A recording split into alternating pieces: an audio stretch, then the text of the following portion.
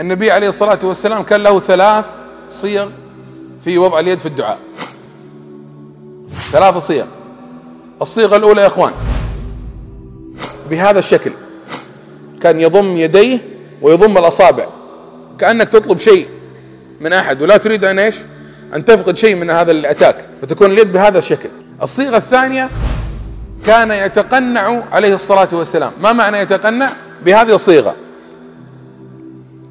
يغطي الوجه ويلصق الأصابع واليد بهذه الطريقة. هذه الطريقة الثانية. الطريقة الثالثة وكان لا يستخدمها النبي عليه الصلاة والسلام إلا في طلب الغيث أو في النوازل لما كان يدعو بهذه الطريقة. وهذه فقط في النوازل وفي طلب الغيث.